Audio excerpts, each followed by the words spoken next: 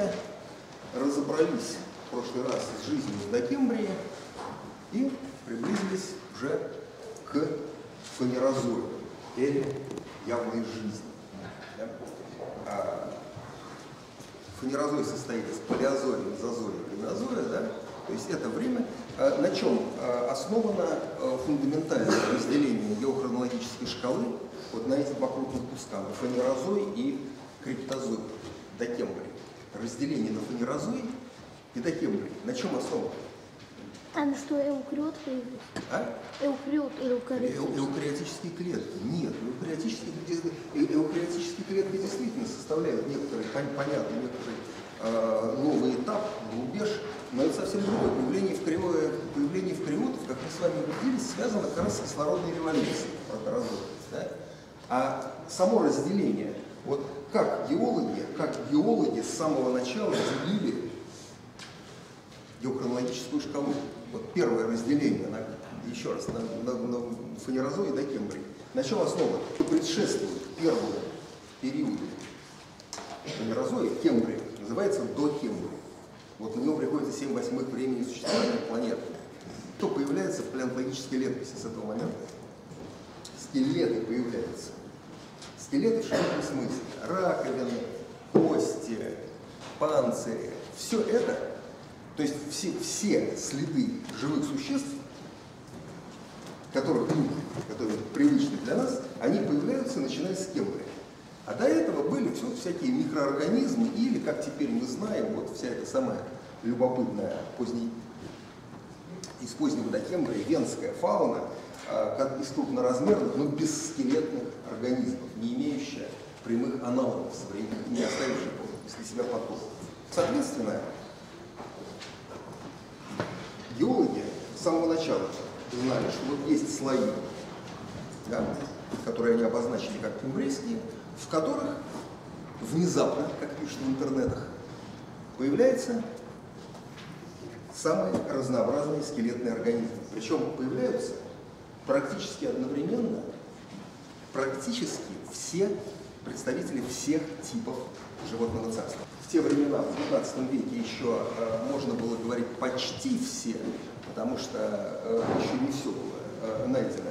Но сейчас мы знаем, что в это время были найдены просто все типы животного царства. Ну, круп- крупнейшие, фундаментальные типы. Вот э, в конце 90-х были наконец найдены хоры в, в Кембрии, Китае. Таким образом, появляются вот до этого ничего, ничего, ничего, ничего, ничего, и вдруг с некоторого момента появляется привычная нам фауна почти вся. То есть вот ну, прямо, прямо какой-то акт ли. А, И э, Дарвин в свое время, когда анализировал эту проблему, а, вот чем э, Дарвин вообще хорош? Э, Я вообще рекомендую почитать его происхождение видов. А эта вещь э, замечательная, в том числе и в литературном отношении. Ну, в те времена, в 19 веке, они все хорошо писали. А, но э, Дарвин э, сделал специальную главу в своей работе, где он честно и четко сформулировал вопросы, на которые его теория, вот при том уровне знаний, который тогда имелся, на середине 19 века, на которые он ответ давать не. Вот, ребят, вот, вот то-то, то-то, то-то мы объяснить не можем. Да, вот надо, надо, надо, надо, что-нибудь дальше придумается. Все так, все так и оказалось, но вот э, проблема кембрийского взрыва, она входила вот в этот самый список дарвиновских вопросов, которые, потому что действительно картинка получается несколько скандальная, да? что в предшествующих слоях ничего нет. Здесь вдруг, вдруг появляется все, да? а, а никаких внятных предков всего этого самого дела вот в предшествующих слоях вроде, как, вроде бы как не обнаруживается. Непонятно. Непонятно. И непонятки эти продолжались э, очень долго. И, в общем, фактически, фактически до, э, ну так, годов 70-х, 20 века. Э, э, как мы помним, э, в конце 40-х была открыта это декембрийская макроскопическая фауна, диакарская, да, из этих круп, крупноразмерных, э, странных, э, мягких существ. А, но э, вроде как, сказать, преподавателем теории эволюции стал на этом месте несколько полегче. Вроде как, так сказать, вот многоклеточные действительно начинают обнаруживаться ранее, задолго до кембрийской границы, но проблема-то в том, что идиокарская фауна, чем дальше, так сказать, ее изучают, тем больше становится понятно, что она вообще-то не преемственна с фанерозойской.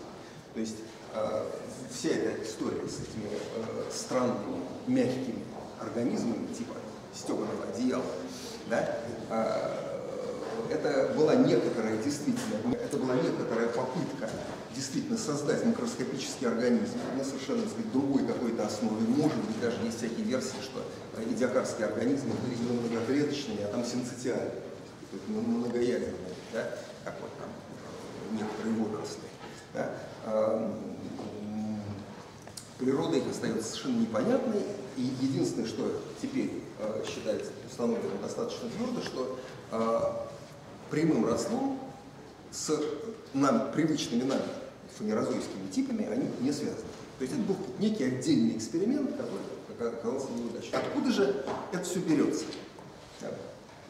А, ну, поверить действительно некое, что вот взмахнули волшебной палочкой и внезапно появляются а, все существующие типы, это вообще очень трудно.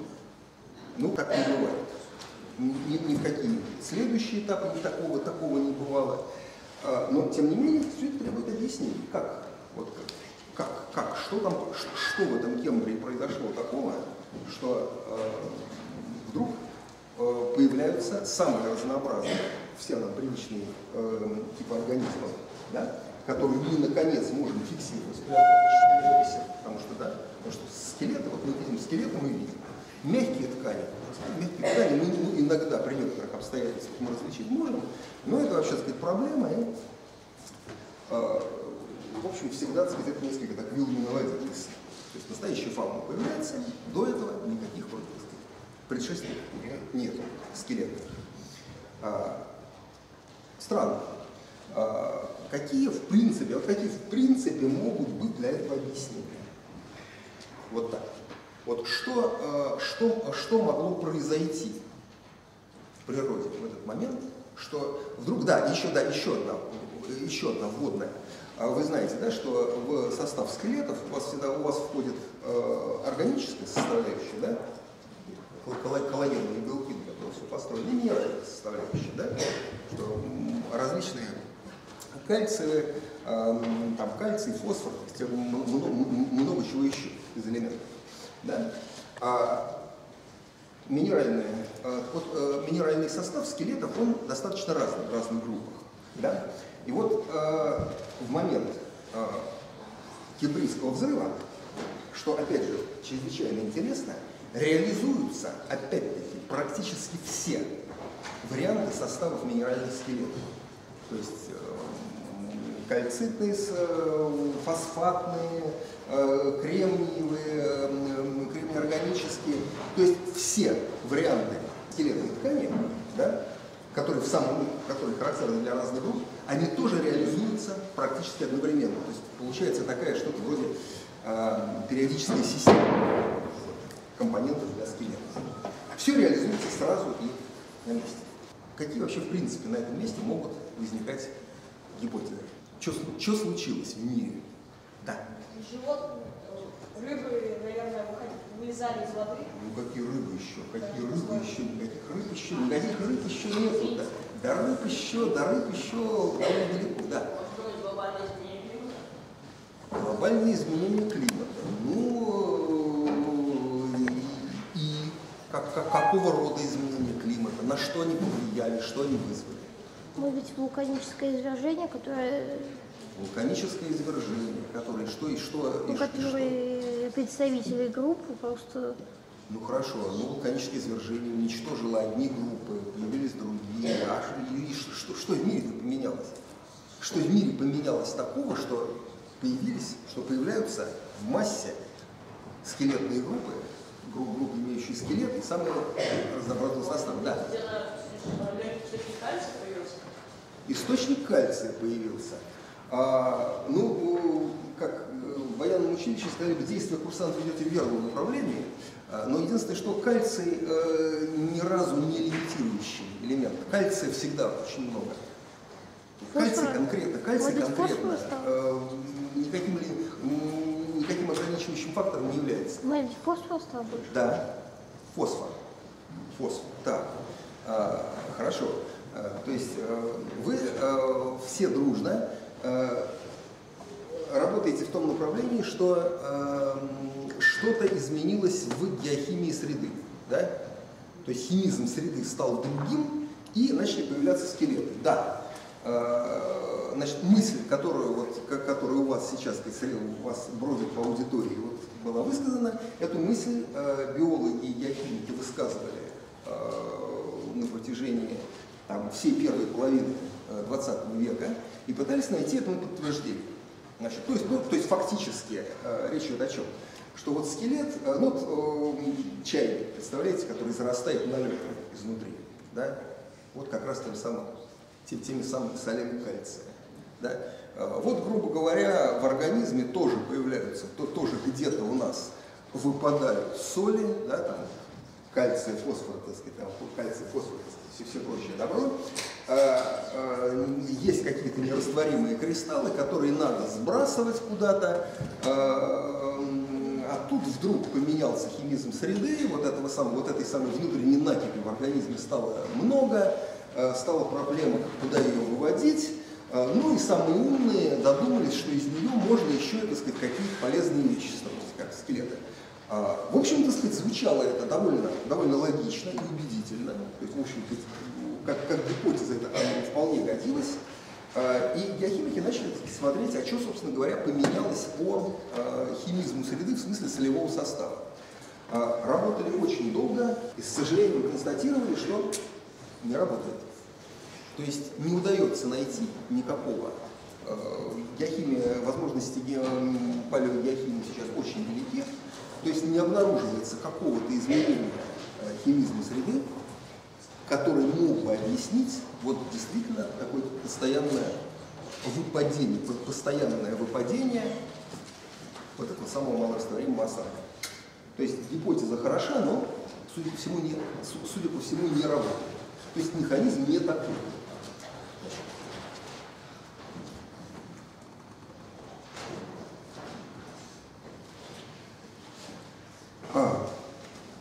Итак, э, а что тогда? А что тогда?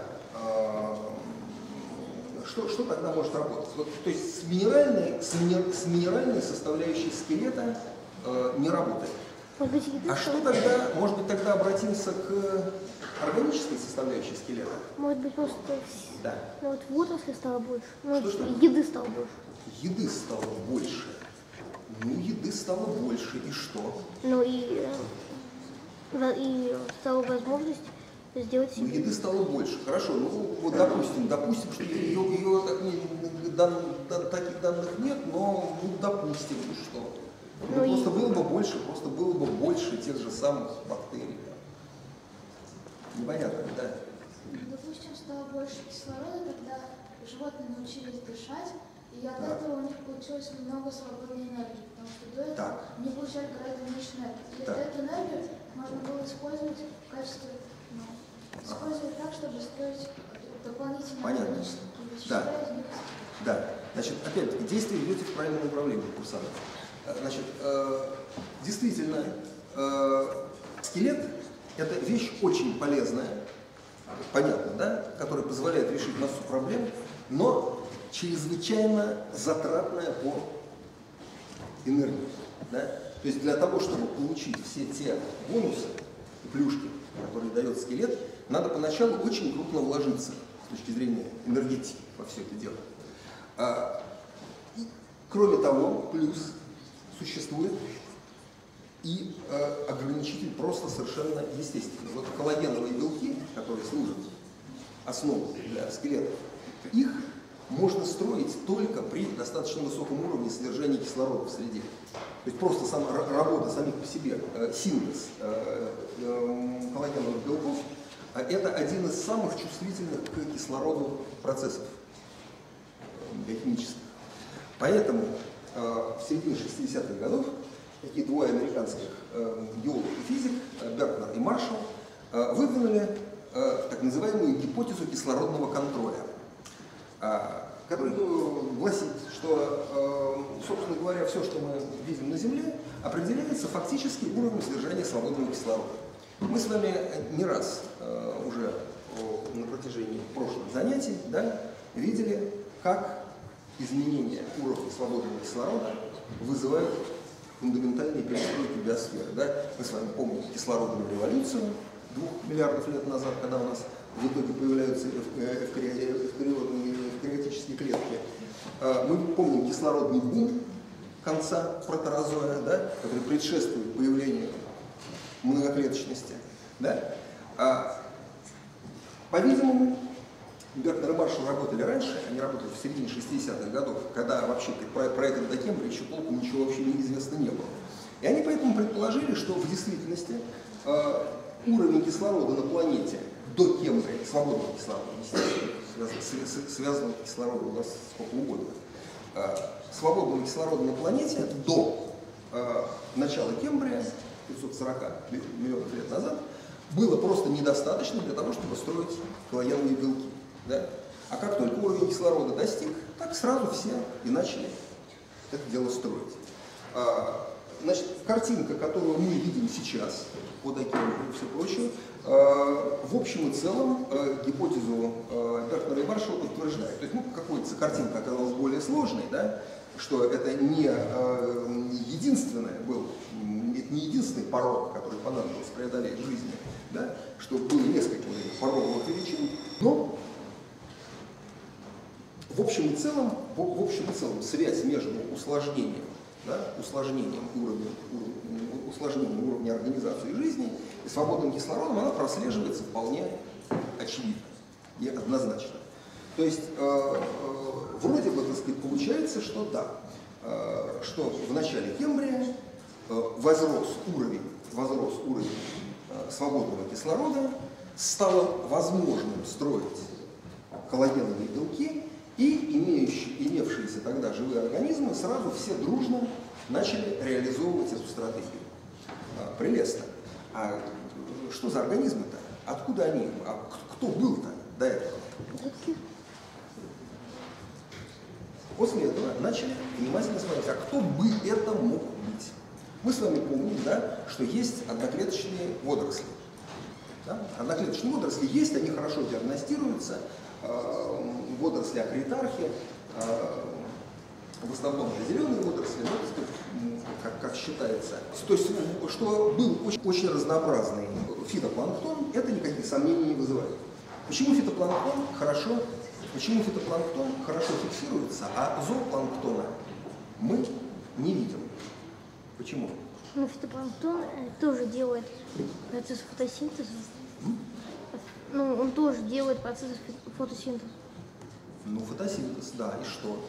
Ну, тогда... То есть мы, а, вы имеете в виду, что следы, э, мы, мы можем обнаружить следы фитопланктона по э, углероду органического происхождения, участвовавшему. Э, ну, можем, конечно, но, во-первых, совершенно непонятно, точно ли это был фитопланктон или какие-то другие микроорганизмы.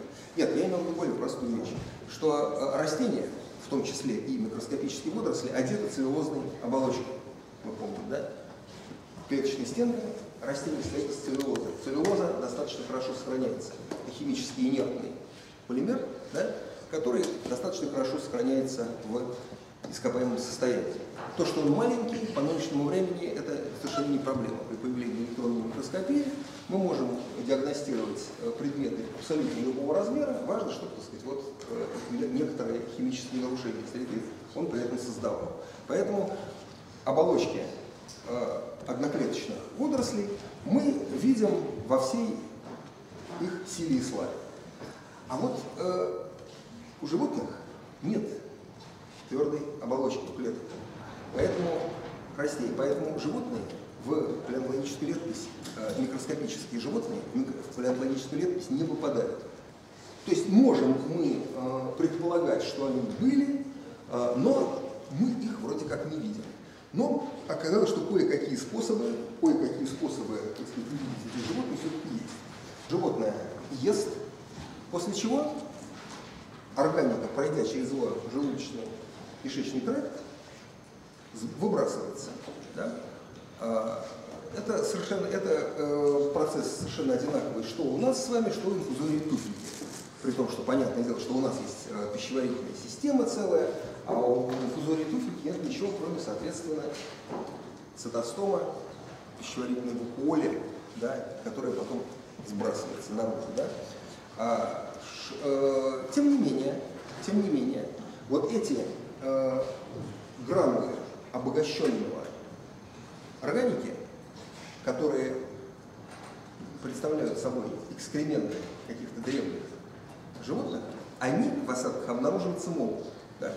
А, И действительно, вот как мы после, когда биохимики научились работать с соответствующими осадками, обнаружено, что действительно с позднего протерозоя появляются самые, появляется целая куча вот этих самых фекальных пилет, то есть комочки, комочки э, органики, которые когда-то падали на дно, да, другого происхождения, кроме как из э, желудочно-кишечного, из, э, от, от животных это не может быть.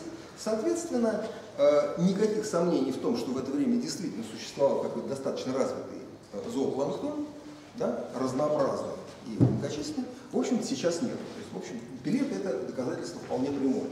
Разглядеть мы его пока не можем, да, это правда. Но что он был, а, вот как тот суслик, товарищ командира, вот, вот да, был был.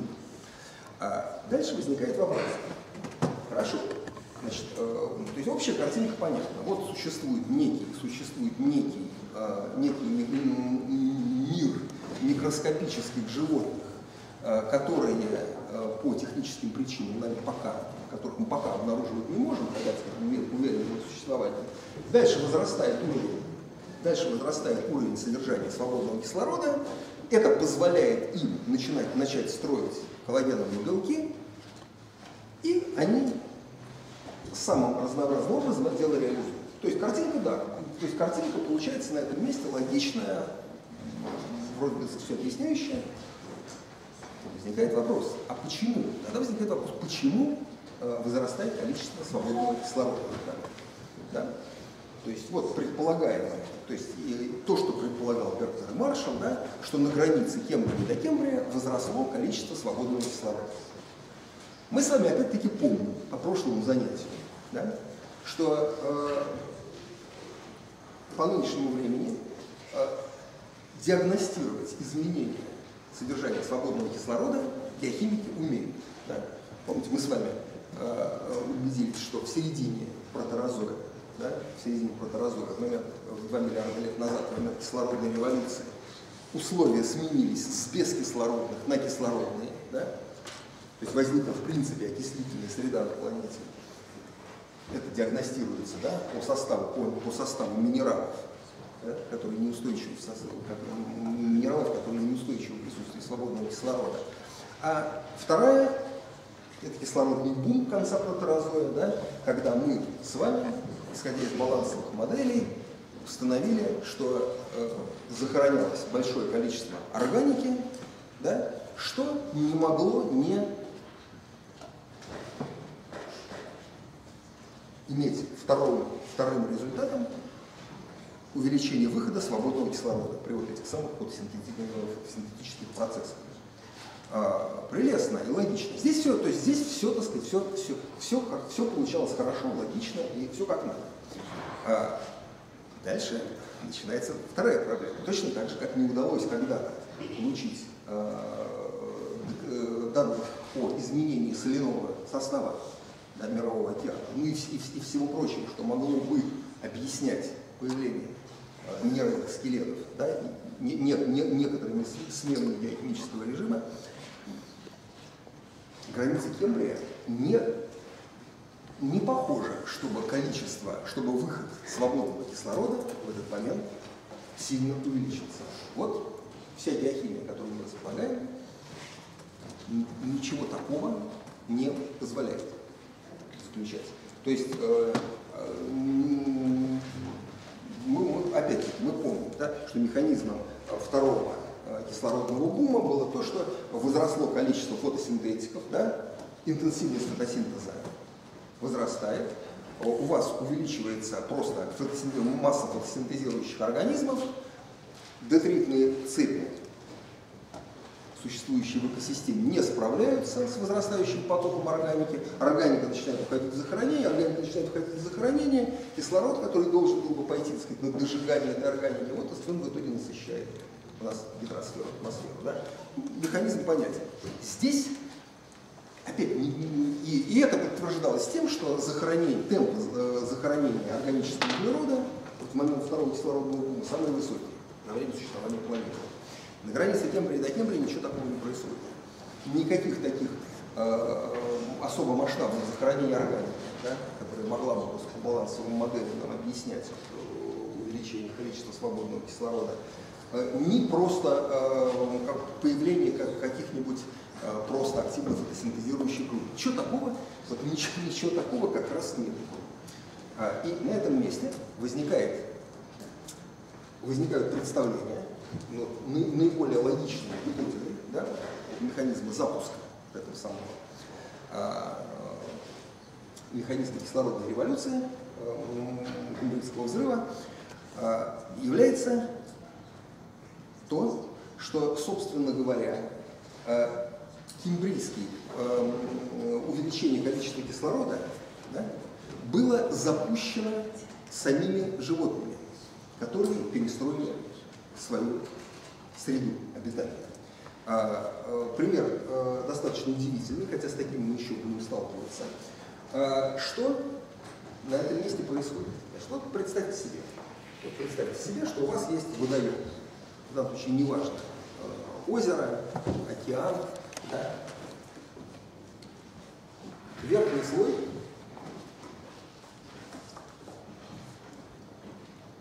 нижняя, э, э, верхний слой воды э, довольно сильно отличается по условиям от воды, которая находится в глубине. Да? Кто-нибудь из вас знает слово термоклин, температурный скачок? Нет? Значит, Просто если кто из вас, там, например, интересовался там, подводными лодками, например, нет, не, не вспоминайте. Значит, э, суть в том, что э, верхний слой воды, верхний слой воды, какая у него э, э, должна быть температура? Да. Он падает сверху вниз, а на глубине температура остается одинаковой. О, совершенно верно. Верхний слой, верхний слой воды, значит, в, в, глуби, в глубинах у вас в глубине вода, какую, какую имеет температуру? Плюс 4.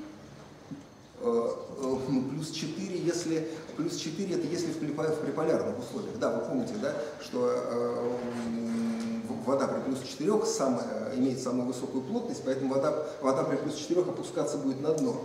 Э, верно, но ну, это, для, для, для, для, это, это в присутствии нетающего льда у вас будет плюс 4 здесь температура. А, например, ну вот какое-нибудь крупное озеро, там, где, как Москва, ну глубокое какое-нибудь. Да? Да-да. Какая у нее температура должна быть глубина? 16. А? Плюс 16. Да. Плюс 16. Плюс, плюс 16, думаете? Плюс 16 в глубине. Глубине. Ну так представьте, представьте да, чем, чем, чем, чем глубже, тем вообще-то холоднее. Да? да. Минус 6. А почему? Как? Нет, не, не, минус, это... минус 6, как вы догадываетесь, быть не может. Да? Минус 6 не получается. Понятно, что это плюс, но сколько? Вы вот почему, почему назвали плюс 6? 8-10. А может быть 8-10? 8, 10. А, значит, ну ладно, не буду, не, не буду вас э, мучить. Э, верхний слой да, прогревается, температура верхнего слоя более-менее соответствует той температуре, которая у вас сейчас, которую градусник показывает. А, то есть эпи лимнио, ну или эпиталаса в океане, да, она отражает температуру актуальную. А гиполиния, гипоталаса, да, они в действительности, ее температура близка, поскольку вода это самая, э, вода имеет э, самую высокую теплоемкость, у нее самая высокая термическая инерция, это будет ближе всего к средней годовой температуре. Да? Так вот, э, а эпилиниум и эпиталасу разделяет зона температурного скачка. Вот зона, на которой температура меняется достаточно резко. То есть э, смена температуры, да, падение температуры поверхности до глубины идет не постепенно, шаг за шагом, а в одном месте резким скачком. Ну, на этом месте свойства э, у воды в зоне температурного скачка несколько э, непонятных существенных параметров, она, будет другая. Но нас, нас сейчас интересует то, что водная масса разделена на эпиталасу да, и гипоталасу. Значит, теперь давайте представим себе, каковы были условия э, жизни в этом самом далеком Докембрии. А, да, что у нас, э, начнем просто сказать с того, что у нас происходит сейчас. Вот э, где, где идет основной фотосинтез в морях.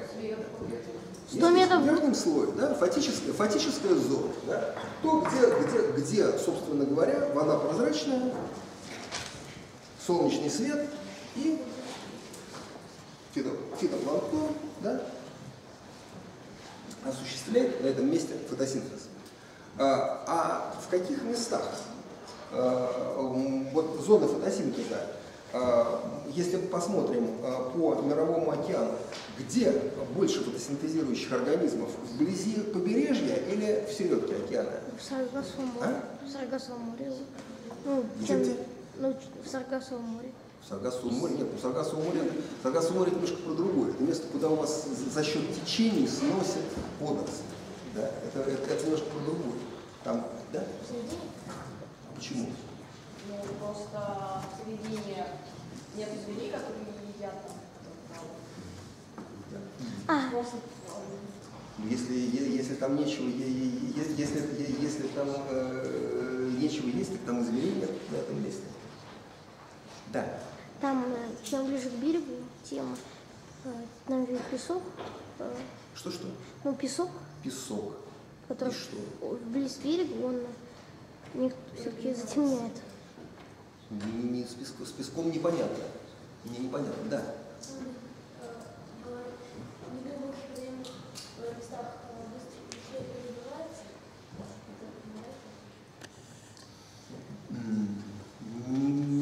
Нет, не, не, мне непонятно. Да. На побережье? Почему? Почему? Если- Ну, уже э, ну, глубина намного меньше. Почему глубина? Все, еще раз, что у вас, у вас все равно весь фотосинтез в, в приповерхностном слое идет, фактически зоне. Да. Более прозрачная вода у берега. С чего бы это? А?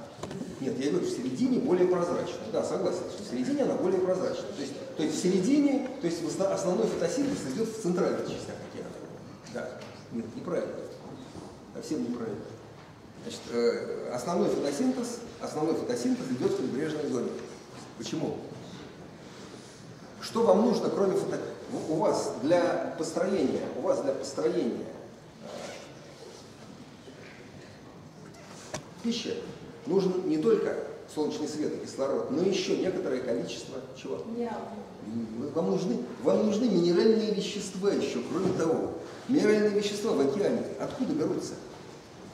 Только за счет сока суши. Да? Все минеральные, все минеральные вещества, которые необходимы морским растениям, они берутся с суши. На суше у вас идет эрозия, да, водная, да, ветровая и вся прочее. И соли да, попадают, в том или ином виде попадают в океан. То есть для того, чтобы у вас это все работало, у вас солнечный свет, то это не проблема. Да? Солнечный свет не вопрос. То есть должны быть соли в прибрежной зоне. Отлично. Что у вас э, получается в глубоком Декембрии, где у вас нет, где у вас нет наземной растительности? Как должна идти эрозия? Очень активно. Э, Эрозия идет активно, и нет никаких свидетельств того, что в эти времена вообще существовало что-то похожее на пресные воды, вот это конечно, удивительная картина, да, которую так, по нынешнему времени трудно себе представить. То есть, нет, понятное дело, что пресной воды хватало, но не было водоемов, да, то есть крупных рек, озер и всего прочего. Да, то есть никаких следов вот, по составу осадков от этого не остается. То есть было огромное количество постоянно меняющих русло речек, да, это называется площевой сток океана, да, то есть э, течет, как Бог на душу положит, русло не вырабатывается, да, и все это дело несет в океаны огромное количество взвесей минеральных. То есть э, в единственно э, продуктивных областях океана у вас вода очень мутная. Вода очень, если вода очень мутная, что происходит у вас, что, как, как, какие на этом месте начинают у вас неприятные последствия? У вас оказывается, да, у вас оказывается, что э, фактическая зона сама по себе, за счет того, что у вас просто множество взвесей, да, минеральных, у вас оказывается, что фактическая зона сужается до первых метров. Да? Солнышко не проходит вглубь водной массы. В итоге у вас оказывается, что термоклин оказывается у вас подтянут под самую поверхность. Да? И петаласа оказывается страшно узкой. Петаласа оказывается страшно, страшно узкой, тоненькой. Настолько, что в ней фактически нет ветрового перемешивания воды. Да? А, каким образом она будет холоднее или теплее, когда мутная? Теплее. Что? Где, где, где холоднее, где теплее? А? Так. Что? Там меньше частичек вот э, минералов неизвестных. Да. И берег теплее. Так. Верхний, щит- ну, числе, в том числе у берега, в верхнем, в верхнем слое, вот в этом, ну, который, собственно, нас только интересует, в нем температура воды будет выше гораздо. Температура воды гораздо выше. Значит, мутно, это значит просто хуже с фотосинтезом. Меньше кислорода вырабатывается. При этом вода теплая. Вода теплая. С растворимостью газов у нас что происходит? При увеличении температуры. Что с растворимостью газов? Увеличивается двоечники. Увеличивается с температурой растворимость чего? Твердых веществ. А газов падает. У вас э, кипящий чайник. Почему у вас выделяется вода? Почему у вас выделяется газ? Почему у вас выделяется? Все. Температура выше, поэтому газы, растворенные в этой воде, у вас в виде пузырьков выходят. Да? Как, только, как только у вас, когда у вас растет температура, растворимость газов падает.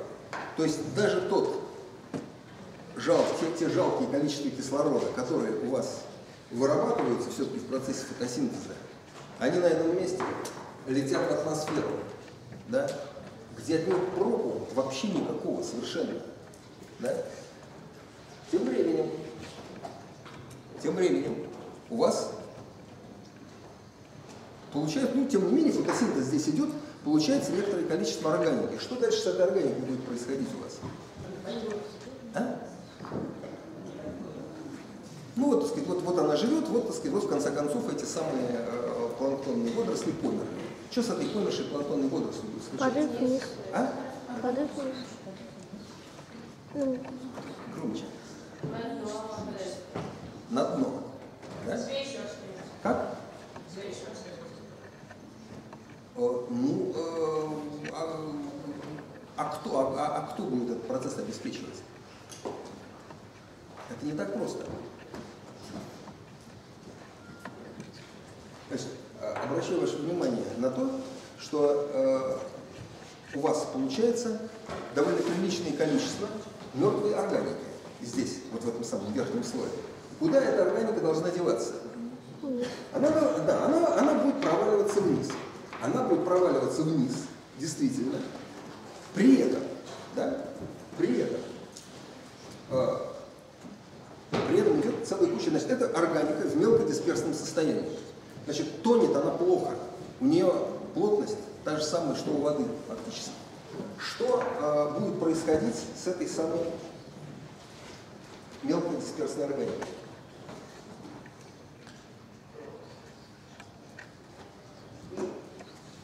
на ее окисление будет тратиться тот же самый кислород. Да? Да? То есть тот, тот свободный кислород, который все-таки еще имеется, он будет у вас уходить на, да, на вот эту самую бесполезную мертвую органику. Мало того, тут возникает, возникает еще одна крупная неприятность. Мы с вами говорим да, о том, что термоклин подтянут вот, поверхность. А, вот как, как ведет себя органика в современном, э, в современных водоемах, мы знаем хорошо экспериментально. Существует такая штука, она называется микробная петля вот, в гидробиологии. Органика имеет обыкновение, вот, дисперсная органика, имеет обыкновение зависать как раз в зоне термоклина. В зоне термоклина за нее берутся, там дефицит кислорода, как мы говорим. Да? В условиях дефицита кислорода за нее будут браться бактерии, которые, так сказать, работают на другом топливе. На чем еще можно работать, кроме как на кислороде? Да? Кислород в процессе, в процессе бактериальных всех синтезов а, у вас вода берется, да, и а, обдираются с ним протоны. А, на чем еще можно работать? кроме воды. Такой есть еще один очевидный окислитель. Сера. Это элемент той же группы, элемент той же группы, что и кислород, да? Сера, да? Огромное множество бактерий ведет самые разнообразные дела с соединениями серы. вот, соответственно, можно использовать, можно использовать в качестве, да, можно, можно использовать, да, в качестве окислителя соединения серы. И тогда в итоге при обычных наших, у обычных наших а, анаэробов, а, обычных наших аэробов, да, которые жгут органику, да, вот мы жгем органику при помощи кислорода и получаем на выходе какие вещества? Да. Углекислый газ. И воду, совершенно правильно. То есть жгем глюкозу, да, жгем глюкозу при помощи кислорода, получаем на выходе углекислый газ и воду. А если мы будем, а если мы будем использовать серу, как у серобактерий, то есть не, не кислород, а серу будем использовать, что тогда получается? Сероводород. Совершенно верно, совершенно верно. Это будет, что мы, мы, мы ждем органику, мы ждем органику, и получается вода вместо, да, вместо, вместо, вместо воды у вас получается на выходе восстановленная сера то есть сероводород. На этом месте, вот в районе термоклина, у вас начинается так называемый процесс эвксинизации.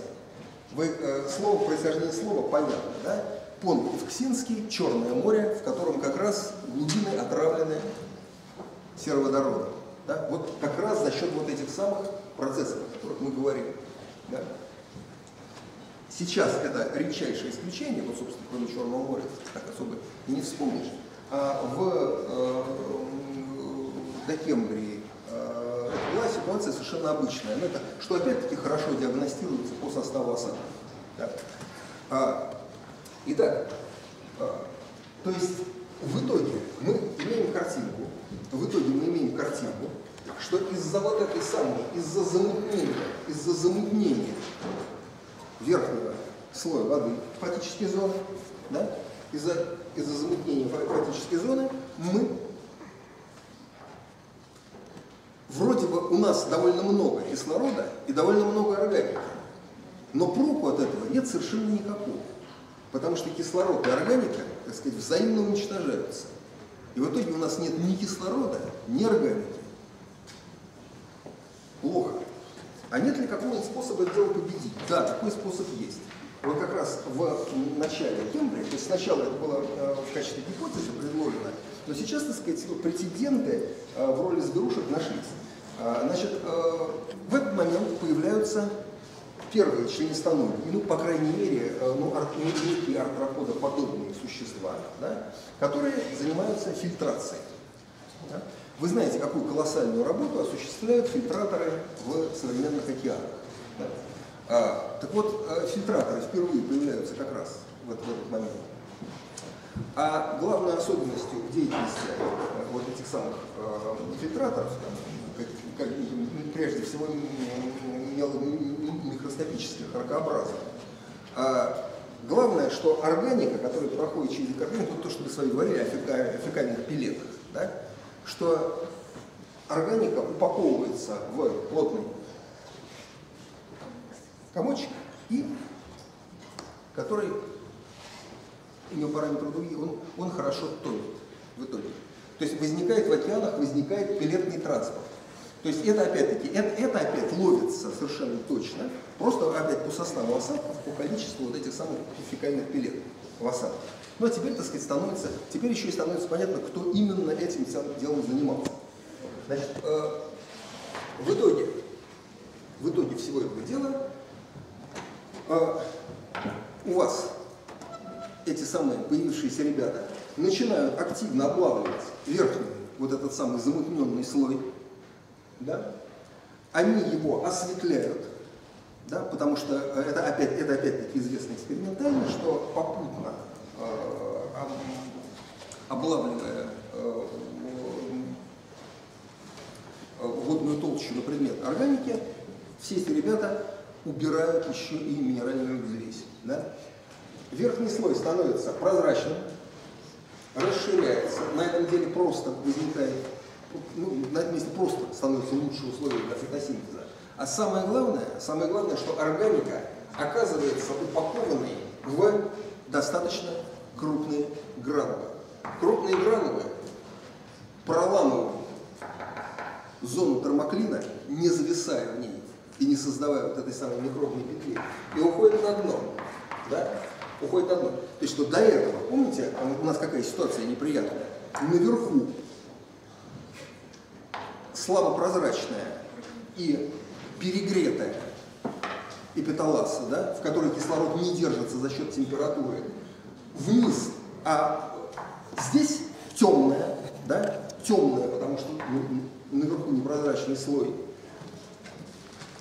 То есть собственного фотосинтеза здесь вести нельзя, да? Закачать внутрь кислород из верхнего слоя тоже не, тоже, тоже не получается, потому что только за счет диффузии, да? Только за счет диффузии, потому что из такого слоя конвекции, конвекции ничего добыть у вас не выйдет из этого дела.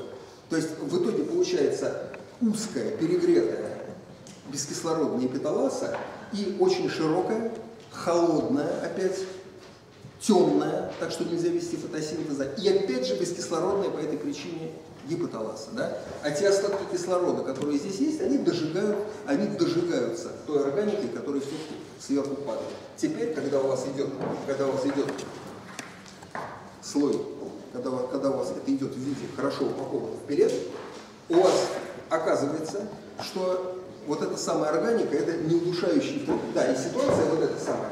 То есть, знаете, да, олиготрофные и эвтрофные условия. То есть сколько органики растворено в воде, да, гидробиологических терминах. А, олиготрофное озеро это вот, вот прозрачные всякие горные озера, в которых органики нет. Эвтрофная ситуация это вот, вот болото разного, разного типа, да, где у вас в воде полно всякой органики и, соответственно, нет кислорода, да, который, который тратится на ее дожигание. Вот э, палеоэкологи, биохимики э, называют океан, который был в этом самом позднем Докембрии, э, ситуация эвтрофного океана. То есть это сейчас представить себе нельзя, да? Абсолютно, бред. Вот, вот, вот, вот этот бред вполне реально существовал. Да? Эвтрофный океан. Так вот на этом месте эвтрофный океан как раз и кончается по всем, опять же, биохимическим следствиям. Да? А, еще раз, оказалось, что всего-то не нужно, да? то есть нет, а, еще раз, нет лобового возрастания продуктивности, нет лобового возрастания количества свободного кислорода. А в результате вот такого маневра ресурсами, в результате создания новой структуры, да, у вас то же количество органики и то же количество кислорода, оказывается, дают совершенно различный эффект. То есть органика из удушающего эстрофикатора становится ценным пищевым ресурсом.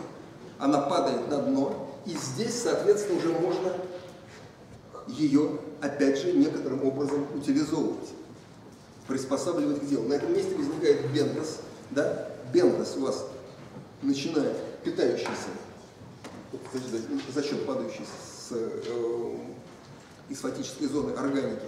Да? Бентос у вас опять-таки может жить за счет того возрастания количества кислорода, которое возникает на этом месте. И дальше у вас возникает замечательная система с положительной обратной связью. Больше кислорода, больше зверушек, да?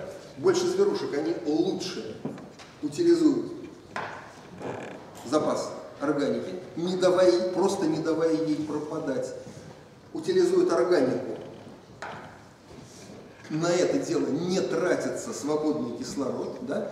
количество свободного кислорода возрастает, можно увеличивать количество зверушек, их размеры, да, и, и сложность их организации. Все. В итоге мы получаем замечательную ситуацию, когда появление одного конкретного экологического механизма, то есть пилетного транспорта, да, значит, у нас принципиально меняет саму организацию водной массы на планете. Да? То есть фантастическая картинка сама по себе. То есть появление каких-то вообще э, рачков-фильтраторов в итоге создают на планете океан принципиально нового типа. То есть вот, вот вам планетарное воздействие совершенно.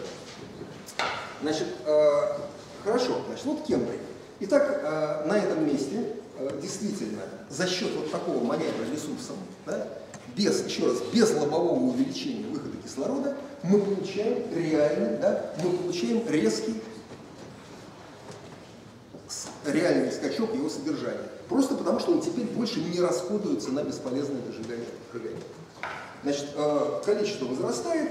На этом месте, как уже было сказано, все э, самые разные группы вот этих самых микроскопических животных начинают резко увеличиваться в размерах, э, обрастают скелетами, ну и что, что мы, собственно говоря, и видим по нынешнему времени.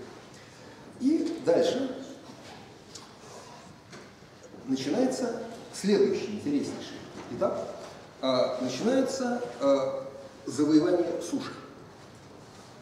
О чем, опять-таки, при, при, при, принципиально, что, что опять-таки принципиально меняет всю жизнь на планете.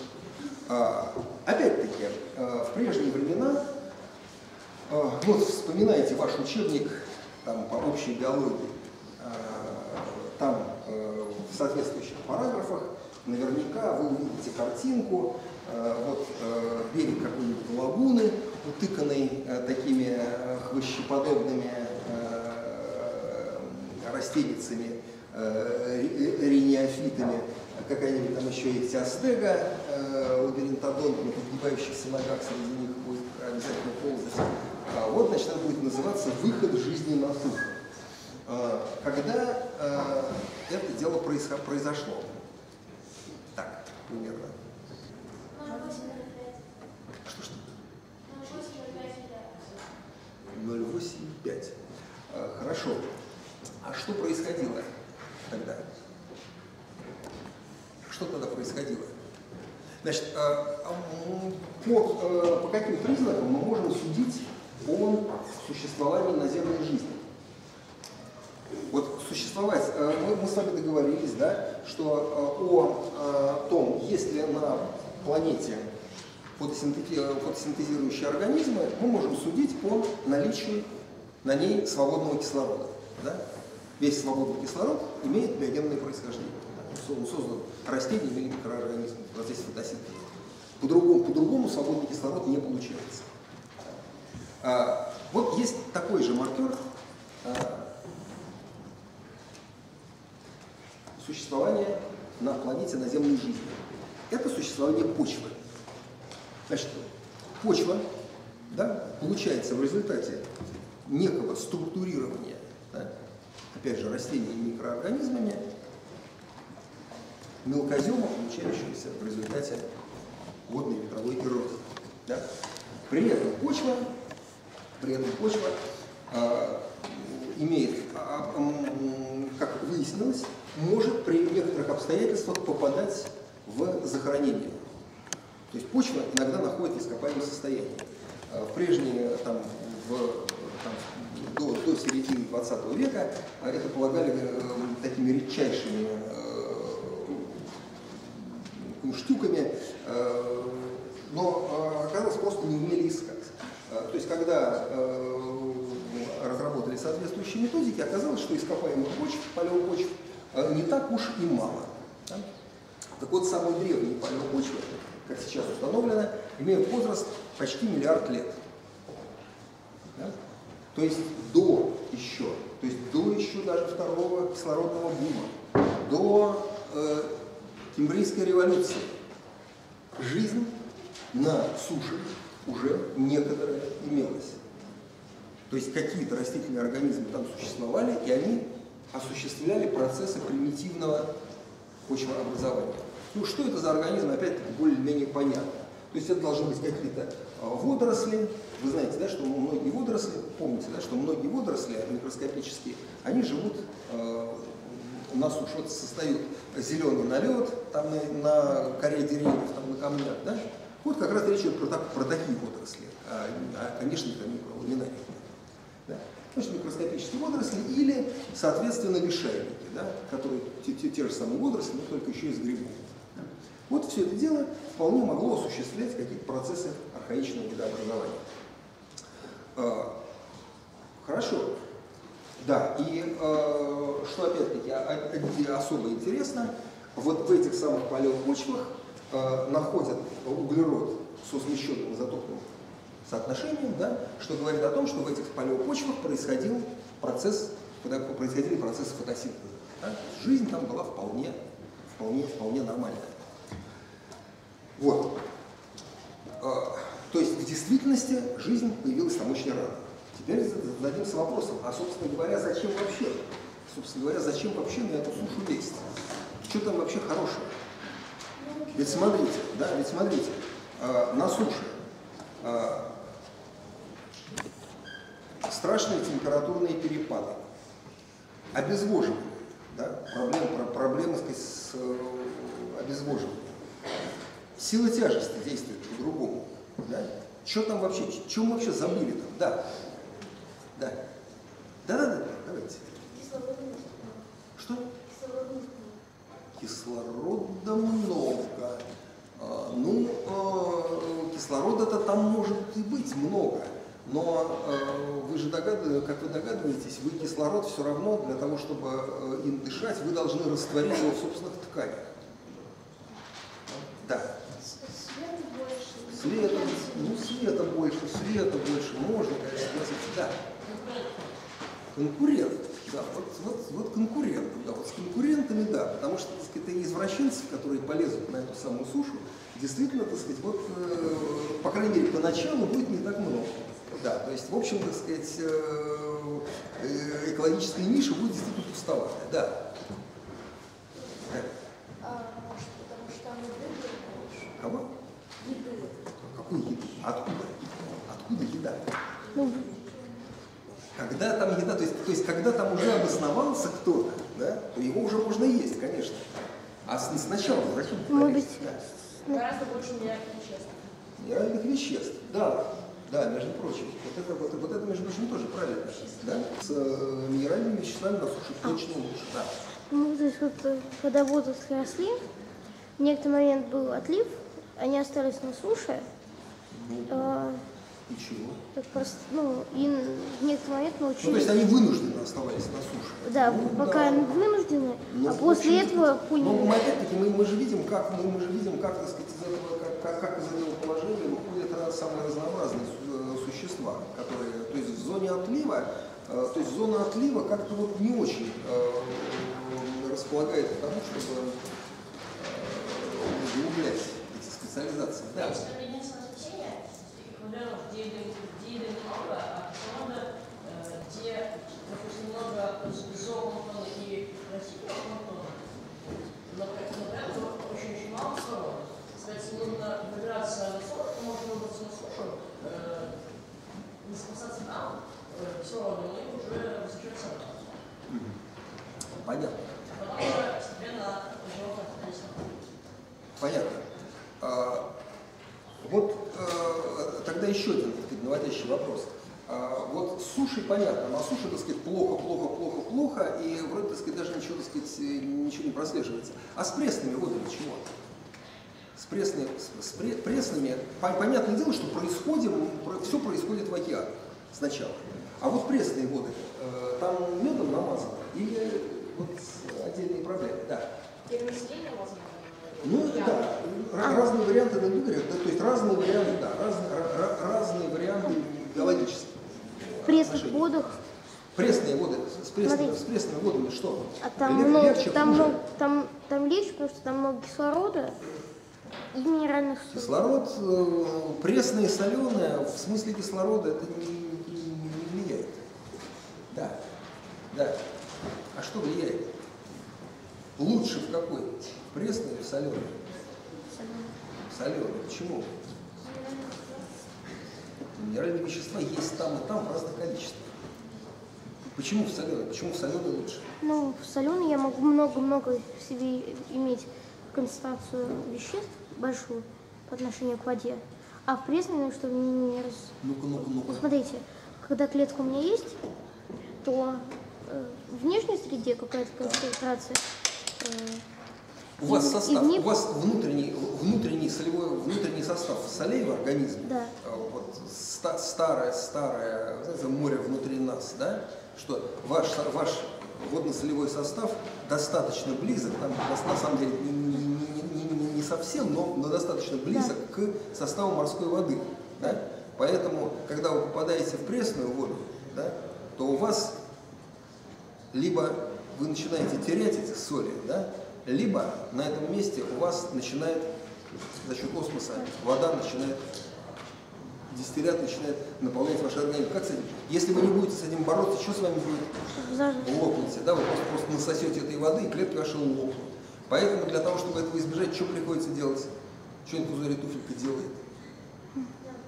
Да, откачивает. Совершенно верно. Она, она постоянно откачивает воду. За счет, как- чем она откачивает? Белками. Сократительный вакуоль. Сократительный вакуоль, совершенно правильно. Она, она насасывает воду внутрь, потом сбрасывает, потом, потом сбрасывает эту воду во внешнюю среду. На то, чтобы ее откачать и сбрасывать, это же насос работающий. Это страшная энергоемкая вещь. То есть жить в пресной воде – это с самого начала закладывать, это с самого начала закладывать расходные статьи по энергии в бюджет. Зачем? Опять, зачем, если в этой пресной воде непонятно, не- непонятно, какие, непонятно какие плюсы? Да? То есть э, никаких вариантов, кроме э, как э, уход, да, уход от конкурентов, да, уход от конкурентов и э, охота за минеральными веществами, вы вроде не прослеживаете, да? Ради разнообразия. Ну, разнообразие. Нет, это, это следствие. Понятно, что на этом месте вы получаете, на этом месте вы полу- получаете как следствие разнообразия, да, но э, целью разнообразия как таковой быть не может. да. А, итак, э, единственное, значит, итак, э, почвы мы видим очень давно, да, примитивное почвообразование осуществляется, да, некими вот водорослевыми корками или лишайниками, и а, вот уже в следующем Закембрием, ордовикском периоде, то есть страшно давно, мы уже э, э, были открыты э, еще в 90-е годы э, палеопочвы, да, ископаемые почвы с крупными норками. Да? То есть уже были достаточно крупные, ну то есть ра- размеры каких-то там дождевых червей, там, многоножек и прочее. Значит, в, конце Ордовика, в начале Силура э, находят капролиты внутри э, почвы. То есть э, это опять-таки окаменевшие экскременты каких-то крупных, достаточно крупных почвообитающих животных. Крупных имеется в виду вот размерного класса там, дождевого червя. Да? Замечательно. То есть, что мы по нынешнему времени можем говорить с достаточной уверенностью? Что э, заселение э, из, из разных вариантов, из разных вариантов как, э, как выходить из моря. Можно из моря выходить сначала в пресные воды, да, а потом на сушу. Да? И возможен другой вариант. Да? Возможен другой вариант, это э, с, действительно э, в какие-то э, через какие-то там, там, какие там гниющие там куча водорослей на э, литерале, э, или что-нибудь что в этом роде, где, постоянно, где имеется постоянная, где имеется постоянная э, влажность, э, ну, некая стабильность условий.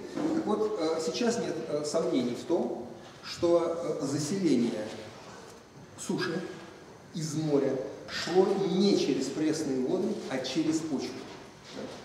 Значит, э, почвенные, причем вот эти почвенные места обитания, да, вот, э, а, вот эти примитивные почвы, э, в них, соответственно, поселяется настоящая почвенная фауна, да, что фауна почвенных беспозвоночных сильно предшествует появлению на суше высших растений. Да? Ну, как опять-таки раньше полагалось, что вот появляются высшие растения на суше, да, там, рениофиты, высшие растения создают кормовую базу для беспозвоночных, да? вот, а вот уже тогда на сушу начинают вылезать какие-нибудь позвоночные, там, э, кистеперые рыбы, подгибающиеся значит, ногах, начинают значит, вот, бегать за какими-нибудь многоножками. Ну, чепуха, конечно, на самом деле, но, э, по крайней мере, вот такая, такая картинка до недавнего времени в головах была. Теперь понятно, что в действительности все было не так что в действительности почвенная фауна предшествует, фауна почвенных животных предшествует появлению, во-первых, высшей растительности на Земле, и, во-вторых, предшествует появлению пресноводных экосистем. Вот настоящие пресноводные экосистемы, имеется в виду э, вот не лужи всякие, э, там, которые, конечно, всегда существуют, то есть не, не, не постоянно, а появление настоящих пресноводных водоемов – это только Дивонский период. То есть, то есть настоящие пресноводные водоемы со стабильной береговой линией появляются очень поздно. Да? А вот почва есть очень давно. Да? То есть и э, понятное дело, что сами по себе эти животные в свой черед, вы знаете, знаете да, про деятельность дождевых червей, ну так и все остальное также работает что сами эти животные в свою очередь становятся мощнейшим, почва, мощнейшим почвообразующим фактором, да? почвообразование улучшается, среда опять, все, все, все, все, все опять по той же схеме. Они улучшают среду своего обитания и делают возможным появление в этой появление на этих самых почвах уже выше растений. Значит, с высшими растениями картинка, опять-таки, по нынешнему времени мыслится заметно по-другому, чем еще лет там, 30 назад. Значит, ну, как, опять-таки, как э, это дело вот, мыслится, мыслилось э, там, во всяких э, учебниках биологии там, до недавнего времени. Вот, вот у вас какие-то мел, какие мелководья, какая-то литораль, вот на ней растут некие водоросли э, зеленые, да, из зеленых водорослей. Вот э, на обсыхающей литораль вот какие-то э, водоросли, э, макро, макроскопические водоросли э, начинают э, там периодически, там, так сказать, высовывать голову из воды, вот постепенно они так, укрепляют стебель, вот начинают терять э, связь с водой, и так потихонечку, полигонечку э, выходят, значит, вот выходят на сушу. Э, картинка совершенно неубедительная, надо заметить. Значит, э, и э, кто против этой картинки всегда, прежде всего, э, среди тех, кто возражал э, против такой схемы, которая опять для всех учебников, э, это прежде всего палеонтологи. Э, палеонтологи говорили, ребята, схема, вот такая схема, этого, этого не может быть, потому что не может быть никогда. А, по очень простой причине.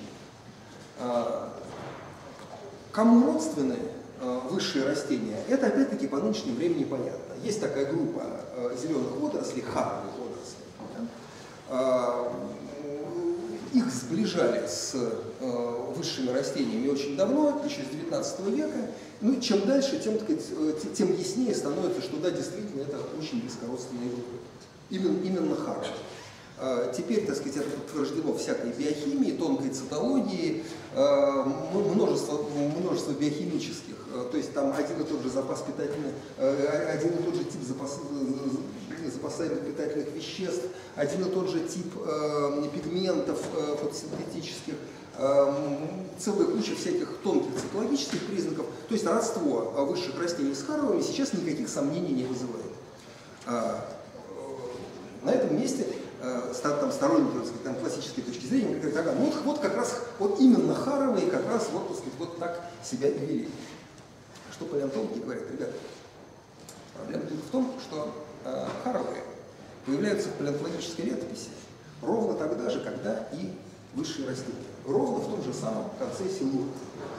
Да? При этом Харовые – это водоросли, они живут на мелководье. А мы с вами помним, да, занятию, да, как э, разные живые существа попадают в палеонтологическую летопись. Да, что водные, да, или это приводные попадают хорошо, наземные попадают плохо. Чем дальше так сказать, ты от воды, тем меньше у тебя шансов попасть в палеонтологическую летопись. Да. Поэтому э, вот высшие растения – Э, вот как раз про э, наземную растительность всегда можно, в принципе, всегда можно сказать, что э, корректно, корректная гипотеза будет, хотя, так сказать, вот, конечно, это красоты особо не имеющая, что мы можем прятать ее где-нибудь на суше, в далеких от воды места обитания, что вот начальные этапы эволюции происходили там. То есть они были, но поскольку образ жизни наземный, вблизи воды они не появляются, поэтому первых этапов мы не видим. Да? С водорослями у вас категорически так не получится. Это водная штука. Это водная штука, причем живет на мелководье. То есть по всем признакам, то есть она должна попадать практически сразу, как появляется. Тем не менее, еще раз, харовое и высшие растения появляются в палеонтологической летописи одновременно. Тот же самый конец силура. Вот. Поэтому палеонтологи говорили, ребята, вот э, мы что можем предположить? Мы можем предположить как раз, э, э, ну, не все, а, а вот э, некоторое количество палеоботаников такую экзотическую гипотезу выдвигали, что в действительности вот то, что мы видим в Силуре, появление вот этих самых высших растений, это как раз, что появляются-то они на суше, вдали от водоемов, начинают расселяться, и в конце Силура они просто достигают водоемов, да, и мы начинаем их видеть в летописи. Да? А, ну, опять-таки, классические ботаники говорили, ну, ну да, ну, конечно, так сказать, вот, э, забавно придумано, но э, проверить этого все равно нельзя. Вот. И, э, как водится, в таких случаях, как, как часто бывает, правы по-своему оказались обе сторонники обоих версий. Значит, сейчас стало понятно, что некоторые микроскопические наземные водоросли которые обитают как раз на суше или во всяких вот, там, временных водоемчиках, в действительности вот по этому набору тонких цитологических и биохимических признаков, они на самом деле харовые. То есть кроме вот, классических харовых, вот этих самых, ну там найдете там в интернете, посмотрите, э, то есть это такие пальмочки с всякими очень сложными, с, с э, очень, очень сложной э, пальчатыми листиками, со сложными э, органами размножения. Э, очень красивые такие растения. Ну, понятное дело, что это очень специализированные штуки. Вот кроме них существуют микроскопические зеленые водоросли среди вот всякой вот этой, э, среди всяких вот этих вот обрастаний в лужах, которые в действительности тоже являются харовыми. Там на этом месте становится все понятно, да? что вот как раз обитатели, что все происходит от этих самых э, обитателей, микроскопических обитателей временных водоемов, да, всяких, э, на этом месте просто сразу появляются две ветви развития. Одни начинают специализироваться на, по жизни на суше, высшие растения, да? А вторые начинают отрабатывать жизнь в континентальных водоемах. Обращаю ваше внимание на то, что харовые в действительности в морях практически отсутствуют. Это обитатели внутриконтинентальных водоемов, в том числе соленых. Да? Они как раз очень любят всякие соленые озера. Да? Но соленое озеро и океан – это разные вещи. Да? То есть ни соль их э, не пускает в океаны. А вот в океанах, в океанах харовых практически нет. А, таким образом, вот от, откуда, откуда берется. И дальше, что происходит с жизнью на суше при появлении высших растений? А, происходит несколько, происходит несколько а, событий, там, несколько факторов, которые принципиально меняют жизнь на суше. До этого у нас все э, фотосинтезирующие поверхности это разные варианты пленок. Да? Это пленки, это маты, вот про которые мы говорили, да, цианобактериальные маты. То есть все идет в один, все у нас в двумерное. Да? У нас с появлением высших растений у нас впервые фотосинтезирующие поверхности начинают располагаться в трехмерном пространстве.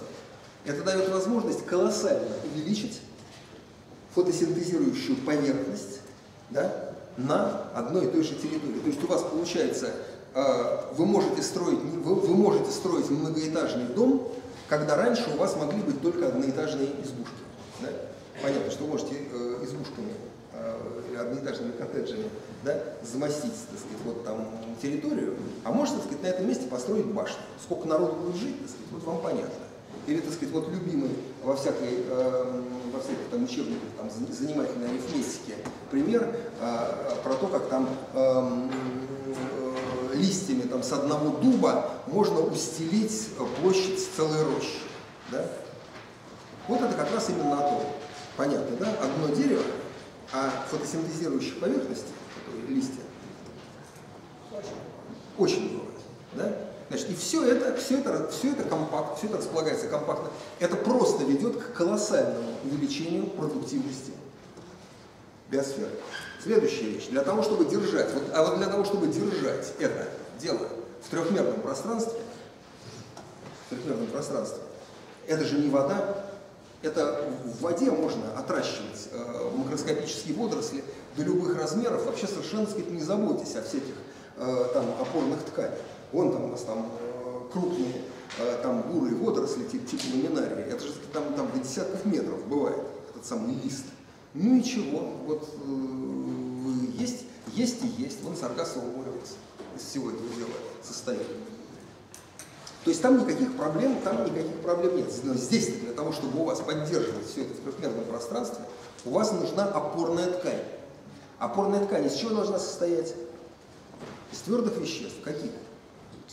Целлюлоза, целлюлоза лигнит прежде всего. Да? Появление новых веществ, то есть ну, нужно отрабатывать новые вещества.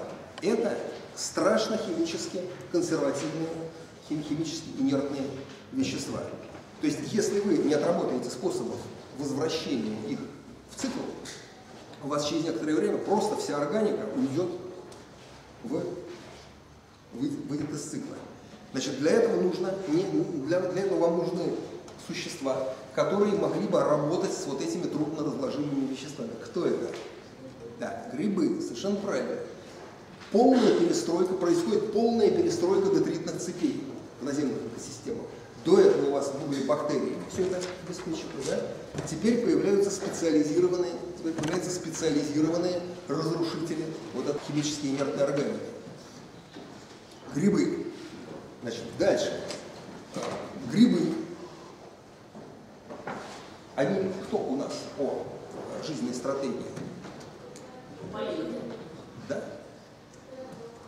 Кто кто? Что что? Гетеротроф. Так, гетеротроф уже хорошо. Да. А еще чего? Да? Неподвижная выживание гетеротрофы, неподвижные, там, ну, среди там есть там, такие подвижные. Э, хорошо. Значит, для нас, для нас сейчас важно то, для нас сейчас важно то, что в это же время, в это же время появляются первые высшие грибы. Да? То есть все, все идет очень быстро. Появляются первые высшие грибы, а высшие грибы чего умеют делать с растениями? Микоризу, совершенно правильно. То есть не микориза. А что такое, что такое микориза? Что она дает? Гетеротрофам, гетеротрофам и грибам, что она дает? Симбиоз растений. Да, ведь, ну, да, да, микориза это симбиоз, это симбиоз э, растения с грибом. Да? Корневая, кор- корневая система, корневая система растения с грибом. Кто чего получает в итоге? А, Грибы получают. Грибы органику, дерево получает... Естественно, грибы гетеротрофы, как они Грибы, гри- гетеротрофы, грибы получают органику, создаваемую растением. А дерево получает э, улучшение Да. минеральных Да, потоков взамен, а минеральных. взамен от дерева, потому что там колоссально, там, там, там же гигантские, тонкие гифы грибные, там это гигантская поверхность, да, которой можно всасывать минеральные вещества. Да? Растения, соответственно, получают минеральные вещества на этом месте. Да? Получается такой замечательный взаимообмен.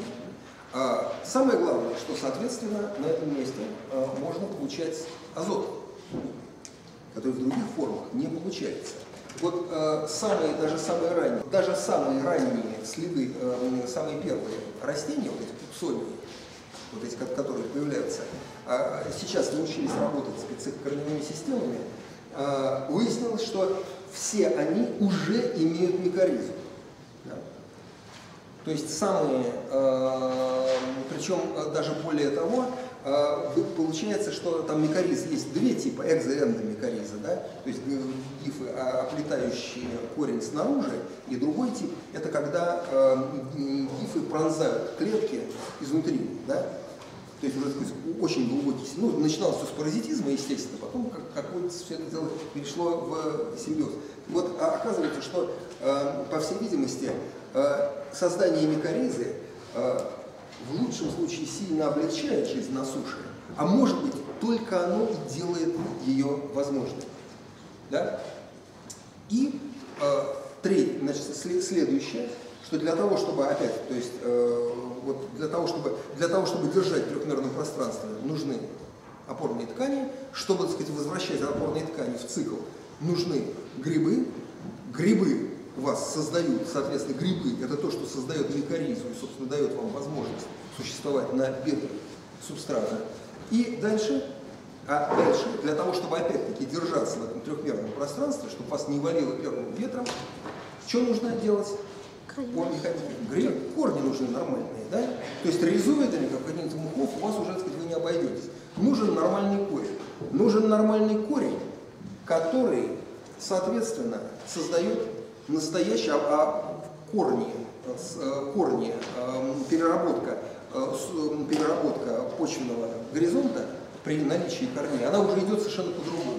На это, с этого места, и действительно так оно и есть, с этого места возникают настоящие резосферные почвы, да? почвы современного типа. да. Резосферные почвы, которые опять-таки создают замечательную почву, которые со- создают замечательное поле для жизни этих самых высших растений. И последняя вещь, которая на этом месте получается, прежде всего, конечно, начинают закреплять э, берега водоемов. И вот именно с этого момента, да, именно с этого момента вот эта возникшая э, высшая растительность, по-видимому, выступает э, таким фильтром для сносимого с суши мелкозема. На этих э, прирословых валах как раз все, все, и начинает, все и начинает расти лучше всего. И с этого момента впервые появляются долгоживущие пресные водоемы с долгоживущей фауной. Впервые, вот когда, только когда появляется высшая растительность. Поэтому в некотором смысле э, пресные водоемы созданы появившейся уже высшей растительностью. Вот такая вот картинка. Так, так как, мы, как мы с вами видели, э, так живые существа э, удивительным образом меняют сам облик планетарного ландшафта.